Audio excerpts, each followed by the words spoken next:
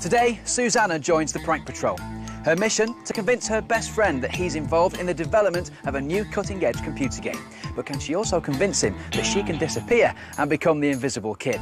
This is Prank Patrol, where we help people like you pull off the prank of their lives.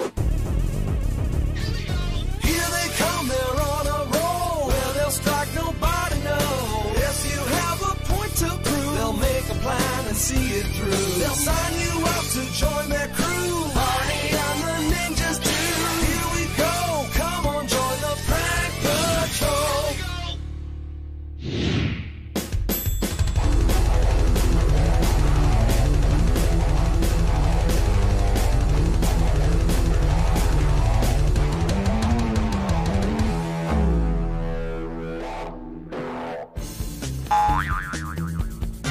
That's got to be our prankster.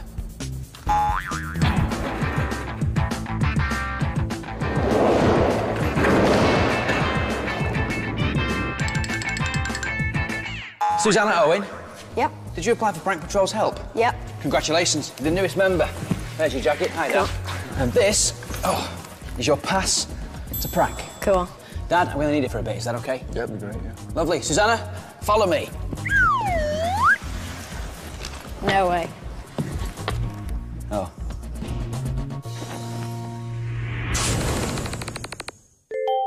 Meet our newest prankster, Susannah Owen from Stoke-on-Trent.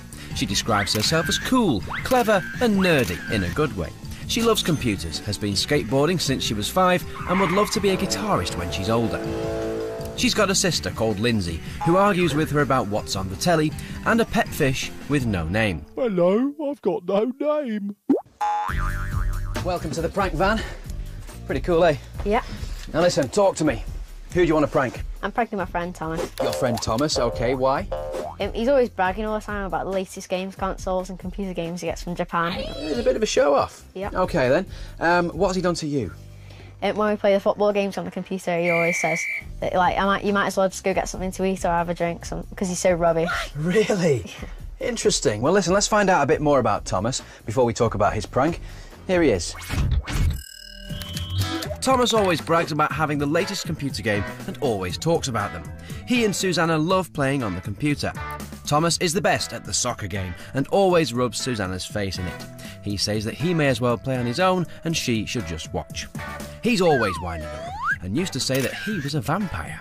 He once told Susannah that his pet hamster ate his Easter bunny that she gave him. Oh, what kind of excuse is that? A hamster eating the Easter bunny. Now, listen, I can see why you want to prank him now. So, uh, let's talk ideas. Have you had any? Yeah, I just want really want to wind him up. You want to wind him up? Well, I'm sure the ninjas can rustle something up in that department. Uh, let's think about what we're going to do here. He likes computer games. You like computer games? Yep. Okay, why don't we base our prank around something to do with that? You know, computer games or maybe um, future technology. Okay. That's always a good one. Why don't we say that you and Thomas have been asked to help um, the, the development of like a, a new groundbreaking game? I'd really love that. You would? Okay, well, how about we say that when you play this game, something happens to you? Um, maybe you get special powers or it makes you invisible. Can we actually do that? Well, no, we can't actually actually do that. Um, I think she's been watching too much Prank Patrol. But we can make Thomas believe that he's invisible. The, the trick is uh, how we do that. You know, I mean, how would you make somebody think they're invisible? What about mm, an invisibility suit? An invisibility suit, something that they wear that makes. Yeah, yeah, I quite like that. What we'd have to do though is um, is get somebody to wear it first, so that Thomas saw it in action. You know, so that he then believes that when he puts the suit on, he knows the same will happen to him. Well, who could that be? Well, you could do it. Yeah. Do you fancy that? If you if you try the suit on first, and what we'll do is we'll rig the room so that certain objects just fall off the wall as if you, as if you're actually grabbing them when you're invisible. We can do that. Um, we can sort that out at Prank HQ later. I know just the guy to deal with that. Um, and then when he puts the suit on, you can pretend that you can't see him. Bingo, he's invisible. Yeah. That sounds great. Let's crank the prank up one more notch, and we uh, pretend that because he's been messing about with the suit so much, he actually breaks this priceless piece of kit. How are we going to do that? Smoke. You just put a bit of smoke through the back of it and it, it looks like it's blown up. That's dead easy. You fancy doing this? Yeah. One of those. Let's get this prank underway. Ninjas! Take us to Prank HQ.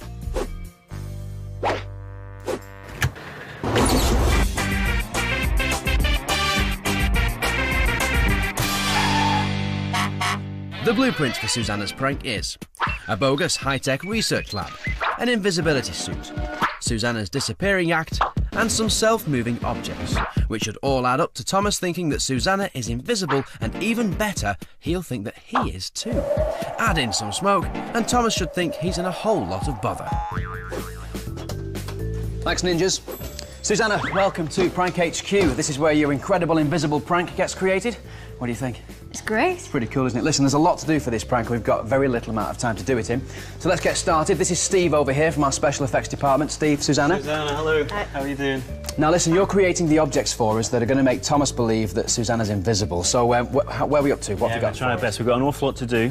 It's work in progress. Firstly, um, I thought if we had a number of stools in our set, we could use a monster truck such as this, and we could use uh, a remote control, and we could do one of those, and we could get it to move independently. Very nice. Number one. Hopefully that works out. Number two. If we have uh, a a bookshelf, a regular bookshelf, and we could um, fill the shelves with all these books, and then if from behind a wall we could activate.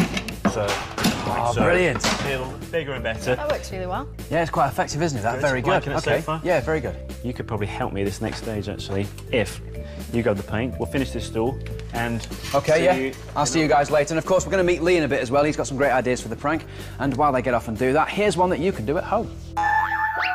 Recipe for a prank. Hidden treasure. Now everyone loves hidden treasure, and with today's recipe, we will tell you a way to surprise your friend with just that. All you need is your target's locker code and a whole pile of treasure. We suggest ping pong balls, screwed up newspaper, and anything else that you can get your hands on.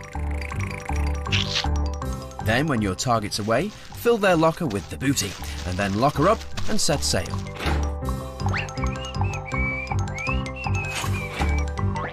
Nothing compares to the look on the face of a young scoundrel when they first lay eyes on hidden treasure. Aha! Hey guys, how's it going? All right?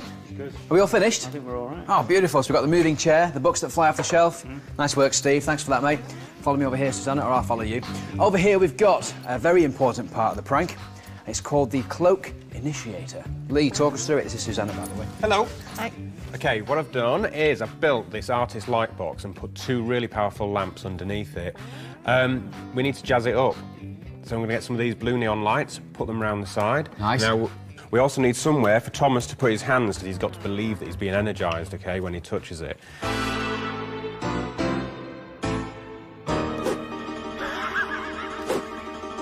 Out of this foam, I've cut a hand shape. I will obviously do another one a little bit later on. Okay. Uh, this will be stuck onto there. He'll put his hands on there. I've also rigged a smoke machine up to it, so in the end, when it all goes drastically wrong, smoke will pour out the back, and he'll think that he's broken it. That sounds really cool. That's fantastic. So we're all set to go on the prank? Yep. Beautiful. Hang on a second. Did that, did that chair just move? Who's got the remote control? Whoa!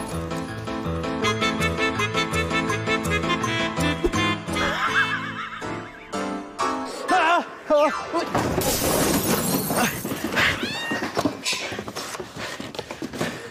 oh, ninjas.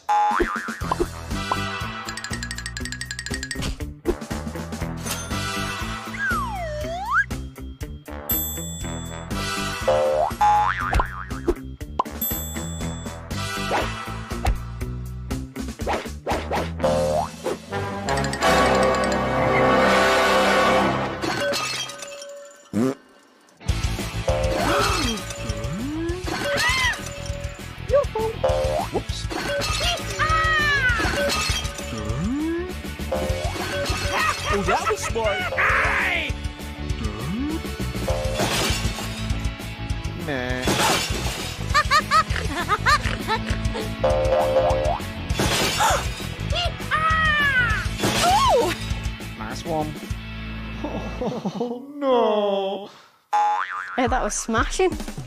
it was. It was smashing. It actually was smashing, and you can say, sma- I like what you did there. Now be serious though. Fold your arms.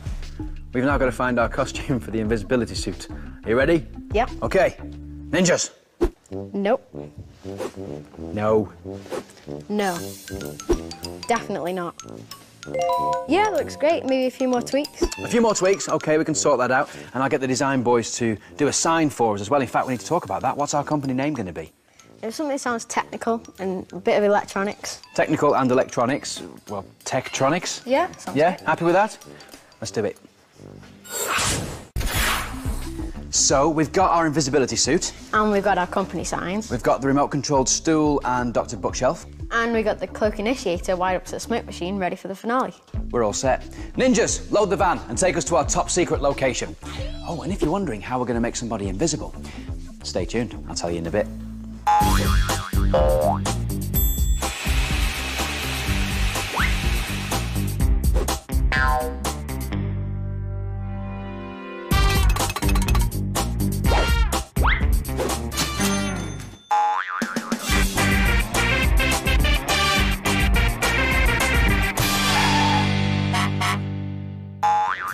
Welcome to our future technologies and games research facility known as Tektronics. Cool. That's going to be there in a big sign. On the door, we're going to have a security guy as well. He's going to check you and Thomas into Hello, here. hello, hello. And as you're walking through the main hallway, through the main corridor, on the left-hand side and the right-hand side, you'll see some different departments which we're going to make up. Um, Thomas won't know that, of course. No. Um, we're, we're going to have guys walking around in lab coats with clipboards to make it all look very official and posh as well. Sound okay? great. Cool. And can we have a flashing light on the door too? A flashing light on the door? Yeah. Oh, we have to have one of those, yes. In fact, this is the door just here. Follow me. Now, it's called the prank room uh, because this is where we're going to pull the actual prank off on Thomas. Now, the first room is very important. It's called the control room. And basically, we're going to bring Thomas into here, and this is where he's going to see you disappear. It's cool, but it needs those more lights and switches and all that. Lights and switches, we can sort all that out. They're sort of like finishing touches. At the moment, they're sort of just building the main room, but that can come later. Um, I, you know, I'm wondering if anybody's actually thought about how we're going to make a person vanish. You know, I was just thinking about how we're actually going to make a person vanish. Well, yeah, right answer. Um, well, basically, um, Thomas has seen you disappearing here already, and that's because of the cloak initiator. Do you remember that? Yeah. The thing with the handprints on it? So, on the control room monitor, Thomas is going to watch what he thinks is live action. In reality, though, we've pre recorded Susannah in the invisibility suit with her hands on the cloak initiator. Next, we videotape the exact same shot of the room, but without Susannah in it. Now, here's the trick we take the video of Susannah and put it on top of the video of the empty room. Then, we slowly remove the shot of Susannah until we're left with only the shot of the empty room. It will look like Susannah has faded away. Genius. So we're going to play that footage to Thomas during the prank, and he's going to think that he's seeing it live there and then. That's pretty cool, isn't it? Yeah, it's great. Come on, how are you feeling about the prank? I'm feeling really nervous but excited as well. Well, I think there's one more thing we need for this prank, just to sort of make it a bit more official, and that's a researcher. Meet Rodney. Hi, Susannah. Hi. Hi, Rodney. Now, this guy's a prank patrol actor. He knows his stuff. But it's up to you to mould the character a little bit and, and make him uh, how you want him to act. So, how about the accent and how he talks? What do you think? Um, I think I want you to be a bit eccentric but not too over the top. Okay. Uh, how about something like this? Uh, Hello and welcome to Tektronics. Yeah, that sounds great. That's nice and official, that. Okay, and what about the costume that he's I think you should wear a white lab coat, something scientific. Right.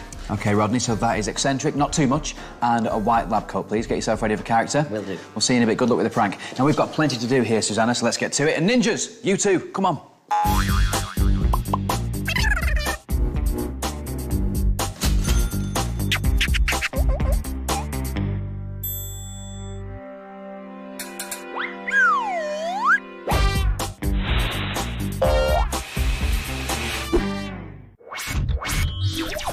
Okay, so the ninjas have set everything up. They're all ready to go. I'm ready to go for the prank. It's now time to make the phone call and make sure that Thomas is going to be here for the prank as well, okay? So, what have we told him so far? Um, he thinks that tomorrow he's coming up just to test up a new game. He's going to test a new game, okay? And that's all he knows. Yeah. So, all we've got to do now is give him a call and make sure that he's still going to be here. Okay. You ready? Yeah. Are you nervous? Yeah. A little bit. Okay, then. It's all yours. Hello? Hi, it's Susannah. Um, he, he stopped for tomorrow, the game testing. Yeah? Yeah, okay, just checking. So, Right. it's going to be great. What am I supposed to do anyway? Got to do the movements of the character or something? I don't know yet. I don't. I have no idea. But we'll have to see tomorrow. Apparently, that's what my mum says. Yeah, I think my mum's probably. Well, my mum's been on the phone to him, so she's probably been talking to your mum. So I, Oh, yeah. I don't know. So So apparently that's what we've got to do then. yeah, So do you get, I, think I can't wait. You get, yeah, I think they give you tracksuits or something and then hook you up with pads and that. ace. Okay, so see ya. Right, see you later. Bye. Oh, well done. You handled that pretty well then. I thought he was. I think he's. I think he saw something. Do you think he might have worked that out? No, I didn't think he would. Even with the suit thing and his mum telling yeah, him and I everything? Think, I think he was just thinking like motion capture. I don't think he. You think so? Yeah. Okay then. Well, listen, we're going to need some support for this. So let's have a see what your friends and family have got to say. Have a look at this.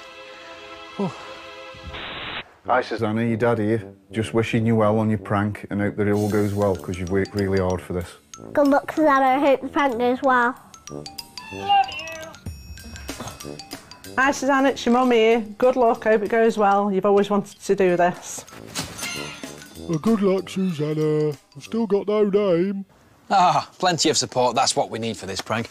Are you ready for this? Yep. Let's get to it.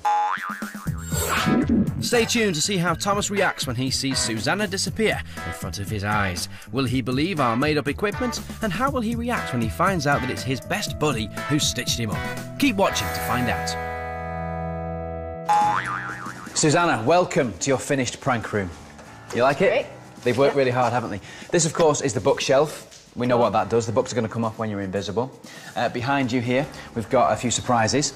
Um, this is a set of drawers. The drawers are going to come out while you're invisible as well. That clock's going to spin round, very effective. Um, of course, you recognise the stool. Yeah. That's going to move on its own. Now, this bit, this is behind the cloak initiator, which is just this side of the wall. And that's where all the smoke's going to come flying out from, of course, when Thomas breaks it. Thomas, by the way, is very close to being here. Uh, in here, you'll recognise one very cool man. Oh, well, that's elementary, my dear Barney. Hi, Rodney. is that what you had in mind? Yep. Beautiful stuff, Rodney. Good luck with the prank. Thank you. Of course, the cloak initiator is all set and ready to go. We're going to be covering all the action in the prank with our hidden cameras. There's one in this window just here. Hello. One there. And one over there as well. Hello. So that's it, we're all set. You ready for this? Yep. High five. Ta, follow me. The blueprint for Susannah's prank is a bogus high tech research lab, an invisibility suit, Susannah's disappearing act, and some self moving objects, which should all add up to Thomas thinking that Susannah is invisible, and even better, he'll think that he is too. Add in some smoke, and Thomas should think he's in a whole lot of bother. So here comes Susannah and Thomas now. That's Big Dave, our head of security, and he's going to escort them to Rodney, our prank patrol actor, who's playing Alan the researcher. The ninjas have finished setting all the props in our prank room. Brilliant. Let the pranking commence. okay, right, now would you like to go and sit over here? You sit down over here, Susannah, and you sit over there, Thomas. Okay, probably all looks a lot to you at the moment, doesn't it? Okay, good, sit down. Okay, well, my name's Alan Cole. You can call me Alan, I don't mind at all, okay? Yep. Now, it was you that actually filled in the postcard, is that right? Yeah, From another on one of the Tektronics games. game. Excellent, okay. And uh, obviously, both of you are really good fans of computer games? Yeah, yeah. Good, good, good. Okay. Well, tell me, uh, who's actually the best player, would you say, of the two of you? Is it you? Probably me, because I've played quite a few games. Really? Yes? And I like, I like playing them on high difficulties as well. Oh, wow. Excellent. Well, that sounds as if you're a great player. And What about you? Um, I think I'm pretty good. Good. Yeah. Okay. Let me tell you a little bit about the company. What we're currently working on at the moment, okay, is the latest generation virtual multiplex games, okay? We're trying to blur the boundaries between what is virtual world and what most people consider reality. And we do this through multiplex digital weaving. How does that sound to you? Cool. A little bit complicated? Complicated, but good. Excellent. Okay. Basically, what we're trying to do is we're trying to find two people that will work with us because we want to develop a brand new game that we can produce. Okay? That's what we want to do. Now, what we have over here is we have these optical expanders. What optical expanders do is they take um, an average 2D video game, okay, and they multiplex it into 3D nanotechnology. Standard yellow safety glasses, then, Rodney. Okay, now this little fellow over here, this is called a thermal feeler. Soldering okay? iron. And we use this to splice heavy electricity that are streams around the atmosphere. Okay? There you go. Ah, now this is our pièce de résistance. I don't know if you ever watch any of those behind the scenes sort of films, you know, on television where they show you how they do Hollywood Yeah, movies. The movements that. for Absolute. Special. That is absolutely it. Well, this is sort of the same sort of concept, okay, but it's a lot much more advanced. What happens is you put the suit on, and a special light will actually come on, okay? Now, through the refraction of the light, no one can see you. Isn't that amazing? What do you think about that? I tell you what, do you want to try it? Oh, can I try it? You'd like to? Really? Okay, well, I don't see why not. And you could try it afterwards, Thomas, if we've got Yeah. enough time. It depends what time we've got, okay? All right, well, I'll tell you what, you take it into this room over here, Susannah. There we go. Okay, this as well. Don't forget the shoes. Hold on, they're my nan slippers. Ninjas. There you go. There you go, there's the hat. Okay, now, Thomas, you and I are going to go into the testing room.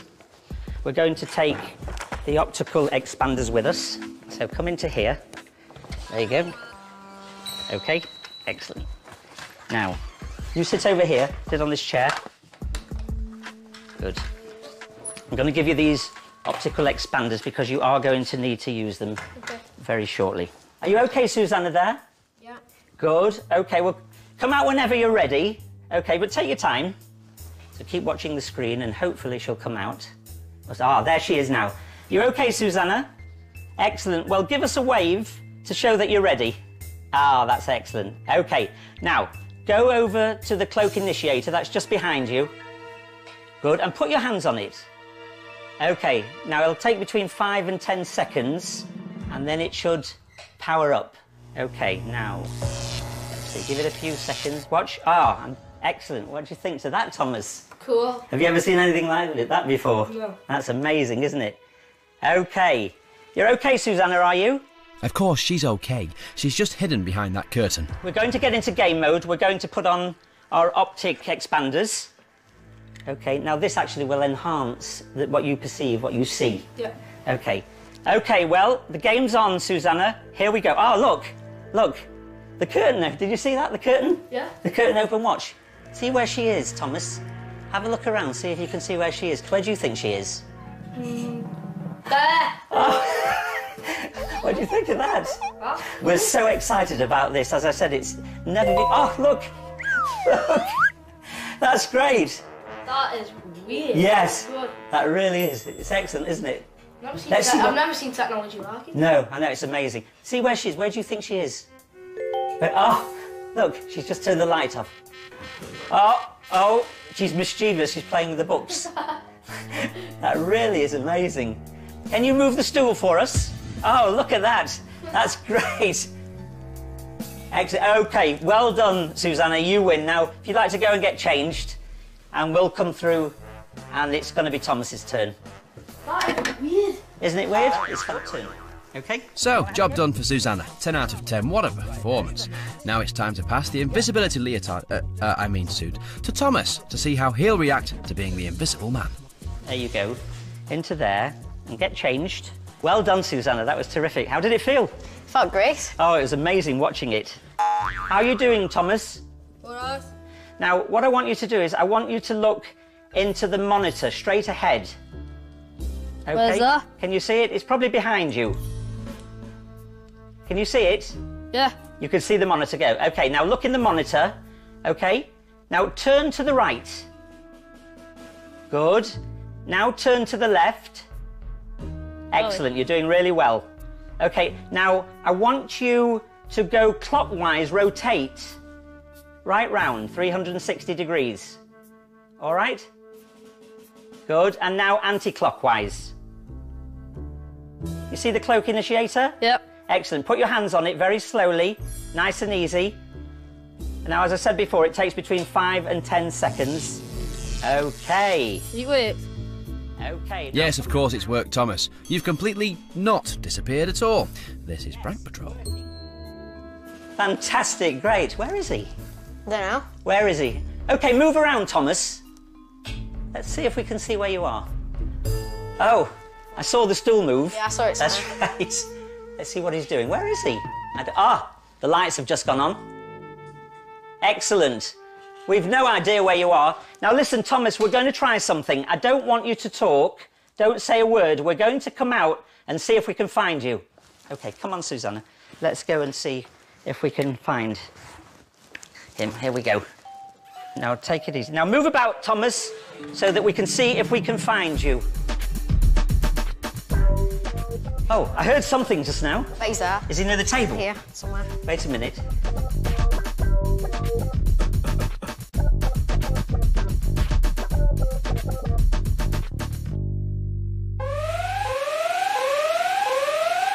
Oh my goodness. Oh no, it's the cloak initiator. I, I don't know, I think it's overloading.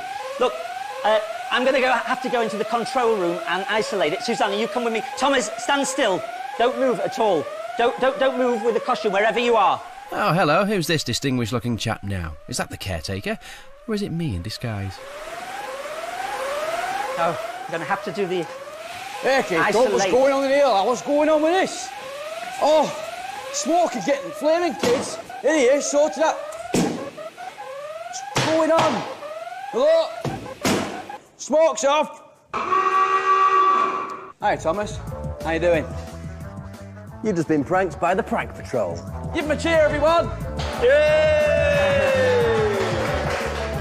That was all Susannah's fault, by the way. Sorry about that, fella. You look great in the suit, by the way. Oh, no, sorry, no, sorry. Thomas, where are you? Thomas, I- I'd like to say you look great in the suit, but I, I can't see you. Well played, sport. I think the best bit of the prank was seeing Thomas's face when, when he, eh, he thought he was invisible and then Barney could see him and he was like, well, why can Barney see me if I'm invisible? I think probably the fact that you managed to make the illusion as if Susannah was disappearing on the screen. Like, that was pretty funny, I'd say. Believable as well.